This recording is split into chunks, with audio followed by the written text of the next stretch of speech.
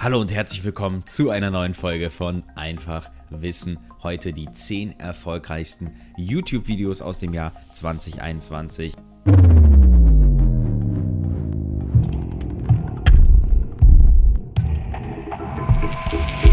Wir alle gucken täglich YouTube und wir gucken natürlich auch täglich in die Trends. Was sind die erfolgreichsten oder die meistgeklicktesten Videos? Und wir haben sie für euch zusammengefasst aus dem Jahr 2021. Was waren also die erfolgreichsten Videos? Vielleicht erkennt ihr ja die ein oder anderen Videos wieder. Vielleicht habt ihr auch das ein oder andere Video aber nicht gesehen und könnt es jetzt natürlich nachholen, um am Ende auch mit jedem mitreden zu können. Deswegen wollen wir gar nicht viel weiterreden und einfach loslegen. Jetzt kommt Platz Nummer 10. Und Platz Nummer 10 war ein Video von Sophia Thiel. Das Video hieß Die Wahrheit hinter meiner Auszeit auf dem Thumbnail. Wir sehen es ja hier stand Ich bin zurück. Und sie hat hier ihre Beweggründe genannt. Für alle, die sie vielleicht nicht kennen, Sophia Thiel war eine berühmte Fitness-YouTuberin, beziehungsweise ist es ja auch und sie hat dort ja so ein bisschen ihre Beweggründe und alles, was dann im Hintergrund passiert ist, nochmal dargelegt. Sie hatte ja, glaube ich, auch als Start dann nochmal ein YouTube-Video mit Kai Pflaume gemacht, was auch sehr interessant ist. Also das kann ich euch auch empfehlen. Und ähm, das war ein sehr emotionales äh, Video auch so ein bisschen. Und ich fand es aber sehr gut. Ich mag sie. Ich finde sie super, super, super sympathisch und alles, was sie da gelegt hat, ähm, war auch absolut nachvollziehbar. Deswegen, falls ihr das noch nicht geguckt habt, schaut gerne mal rein. Vielleicht kennt ihr ja Sophia Thiel auch nicht. Äh, sie war ja dann wirklich auch ein paar Jahre vom Bildschirm verschwunden. Ja, als nächstes kommt Platz Nummer 9, Karin Ritter. So waren ihre letzten Monate. Das ganze Video war von Stern TV. Stern TV hatte ja schon über längere Zeit die Familie Ritter verfolgt und immer wieder gab es Videos über diese Familie. Das ging ja wirklich über Jahrzehnte, gefühlt schon bevor es YouTube gab, wurde über die Ritters berichtet. Also das nicht nur im, im, gefühlten Maße, sondern es war ja so, als ihre Söhne dann auch noch recht klein waren. Diese Videoausschnitte wurden ja auch immer wieder in den Dokumentationen eingeblendet. Ja, letztes Jahr im Februar ist Karin Ritter dann verstorben und äh, Stern hatte vorher sie natürlich auch noch begleitet und ja auch die letzten Momente immer wieder mit aufnehmen können, was dann in ihrem Leben noch so passiert ist, was dann noch für Schicksalsschläge kamen. Natürlich, man muss sagen, eine sehr polarisierende Person äh, oder Persönlichkeit, das Ganze natürlich auch äh, ja, zu Recht auf jeden Fall, also bei dem, was da alles passiert. Aber es war immer wieder fesselnd, man hat, glaube ich, immer wieder gerne zugesehen, weil man, weil man sowas ja auch sonst nicht so richtig begreifen kann, wenn man es wenn nicht sieht. Ich glaube, wenn man das Leuten erzählt, dann, dann würden die das im ersten Augenblick nicht glauben. Und äh, so entstand dann auch dieses Video und das ist ganz gut viral gegangen.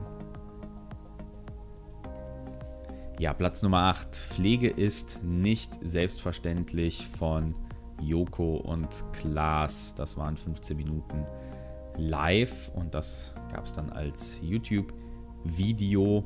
Das war ja Teil von einer Joko und Klaas gegen Pro7 äh, Challenge. Das heißt, wenn dann entweder Joko und Klaas gewinnen, dann dürfen sie für 15 Minuten das Programm bestimmen oder wenn Pro7 bestimmt, dann darf Pro7 bestimmen, was Joko und Klaas äh, begleiten müssen. Und im Zuge dessen haben Joko und Klaas ja schon öfters sehr gute, ich sag mal Kurzdokumentation oder auf wichtige Themen aufmerksam gemacht.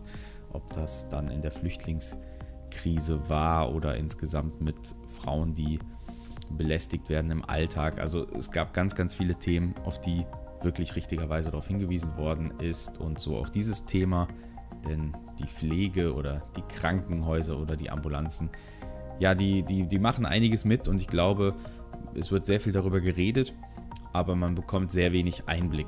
Und ich finde, dass diese, ja, kurz, dieser kurze Einblick, den es da gab, ich glaube, es gab auch noch eine längere Version, da bin ich mir jetzt aber nicht hundertprozentig sicher, aber ich habe irgendwas im Hinterkopf, dass das Ganze auch noch länger begleitet worden ist. Aber trotzdem auch in diesen 15 Minuten gibt es ähm, sehr viele Einblicke und das ist, glaube ich, ganz wichtig, denn man redet sonst immer darüber, aber man hat es nicht so richtig verfolgt. Und natürlich können auch diese 15 Minuten nicht das widerspiegeln, was der Alltag dieser Person dann so macht, ne, was das für eine Belastung ist. aber trotzdem ist es ein, ein, sehr guter Einblick. Also guckt euch das auf jeden Fall an, falls ihr das noch nicht gesehen habt. Ich glaube, mit das wichtigste Video ist jetzt hier unter den Top 10 und zu Recht ist das so durch die Decke gegangen und ich hoffe, dass es jeder von euch auch schon gesehen hat. Ja, Platz Nummer 7. Shirin David, was ist ein Bubble Butt? Kinder fragen Rapper bei Late Night Berlin. Ja, Kinderfragen ist, glaube ich, eine ganz bekannte Kategorie aus der Late Night Show Late Night Berlin. Das Ganze gab es ja auch noch mit den Politikern Olaf Scholz, Annalena Baerbock und Armin Laschet. Da hat es ja auch nochmal hohe Wellen geschlagen. Äh, das Ganze hier war dann natürlich ein bisschen äh, trashiger mit Shireen David, aber ja, glaube ich, äh, ein sehr unterhaltsames Video. Kann man sich ganz gut angucken. Also falls ihr es noch nicht gesehen habt, schaut gerne mal rein. Ähm, Julian David, glaube ich, macht das da auch äh, sehr sympathisch, zumindest so wie ich es aufgenommen habe. Und ja, ein ganz gutes Video. Ja, als nächstes Platz Nummer 6, Teddy mit seinem Song Mona Lisa.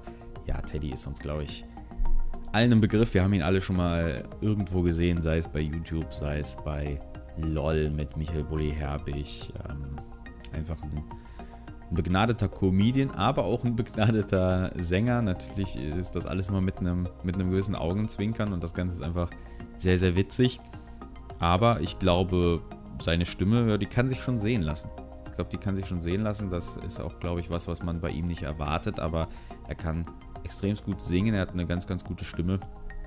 Und ich glaube auch, dass die Mehrheit der Leute, die ihn dann mal gesehen haben, die, die lieben ihn auch und die finden ihn einfach gut. Und das auch völlig zu Recht. Äh, mir war vorher natürlich ein Begriff, ich kannte ihn auch von, von YouTube so ein bisschen, habe ihn aber nicht so richtig verfolgt, ehrlicherweise. Dann bei LOL bin ich wieder so ein bisschen auf ihn aufmerksam geworden und äh, fand ihn da natürlich äh, bombastisch und fantastisch. Das war einfach super lustig und seitdem äh, gucke ich mir auch wieder sehr gerne Videos mit seiner Beteiligung an. Ähm, vorher hatte ich ihn da, wie gesagt, dann nicht so sehr auf dem Schirm gehabt.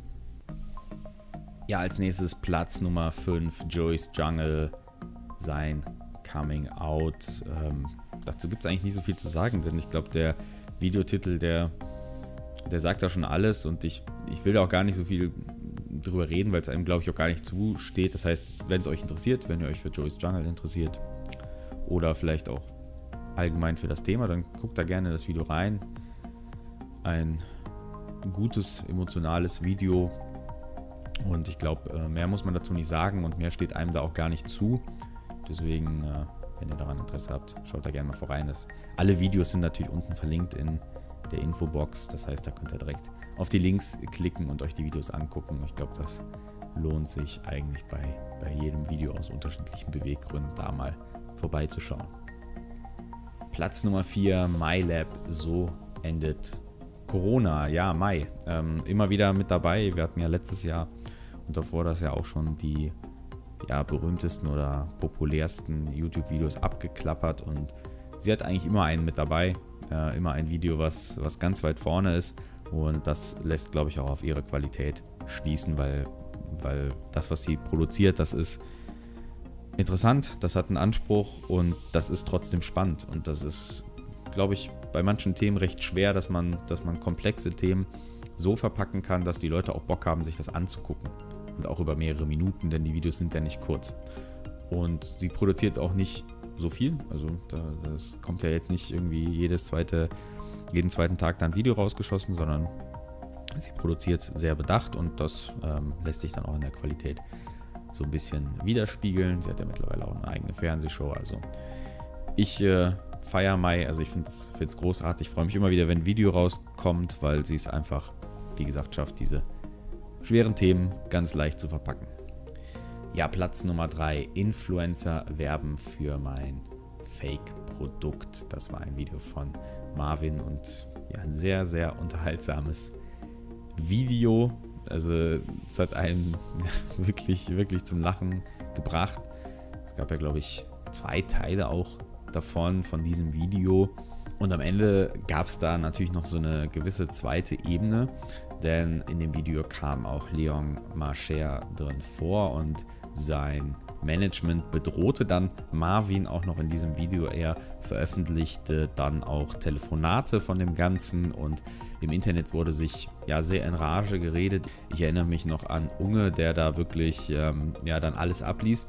Und am Ende war halt diese zweite Ebene, dass Marvin Wildhage dann von Leon Mascher auch hops genommen wurde und er das Ganze so ein bisschen durchschaut hat, dass er dort einfach nur versucht wird zu verarschen und dann hat er halt Marvin auf der zweiten Ebene nochmal verarscht. Und das war ganz amüsant anzusehen, dafür muss man sich glaube ich drei, vier Videos angucken, aber egal welches man schaut, es ist immer sehr, sehr witzig, sehr, sehr schön, ähm, ja, und hat einfach äh, glaube ich, bei allen so für ein paar Lacher gesorgt. Und ich fand es ganz nett. War ja dann am Ende, war ja dann am Ende alles friedlich und so muss es dann, muss es dann auch, glaube ich, am Ende laufen. Platz Nummer 2, Philipp Mickenbecker, Live Lion.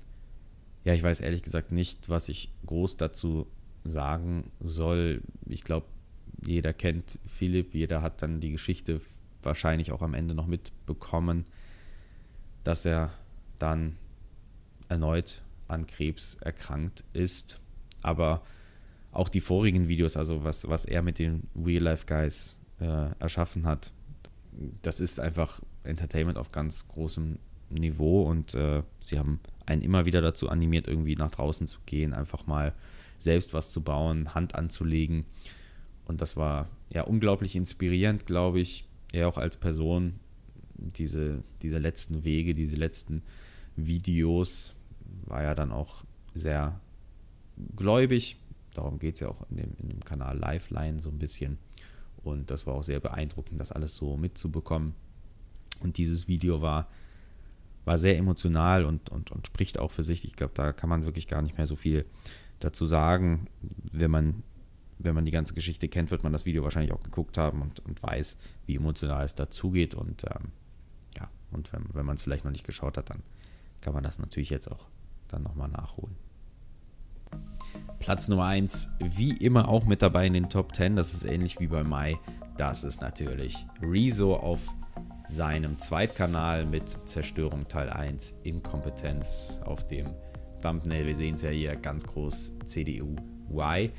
Im Moment, das ist Stand April 2022, hat das Ganze 6,1 Millionen Aufrufe, also hat äh, richtig ordentlich wieder abgesahnt. Das ist ja sehr oft bei den Rezo-Zerstörungsvideos der Fall gewesen. Und er hat sich da mal wieder politisch auseinandergesetzt. Sehr, sehr gut, sehr fundiert, mit Quellen belegt. Also wie immer, glaube ich, auf einem hohen Rechercheniveau, so wie man es von ihm gewöhnt ist. Und äh, ja, wie immer gab es natürlich keine passende Antwort der Politik.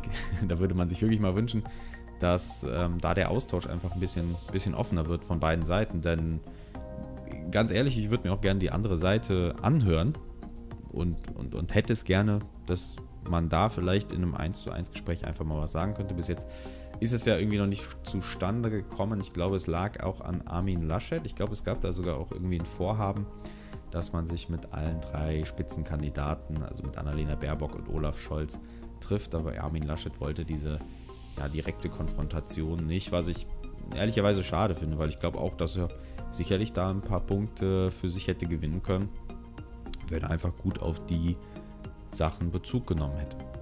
Aber wie auch immer es ist, äh, das Video wie immer sehr gut. Schaut da vielleicht mal vorbei. Es ist natürlich inhaltlich, thematisch ähm, nicht mehr so aktuell wie vorher. Dennoch, äh, es hat sicherlich noch einen gewissen Wert. Also schaut auch gerne mal bei diesem Video vorbei. Ihr könnt ja mal sagen, wie viele von den 10 Videos ihr geschaut habt. Also wie viel Prozent habt ihr von den Videos schon geguckt? Vielleicht sogar alle. Man weiß es nicht. Und ansonsten schreibt gerne mal Videovorschläge in die Kommentare, gebt einen Daumen nach oben und wir sagen bis zur nächsten Folge und ciao.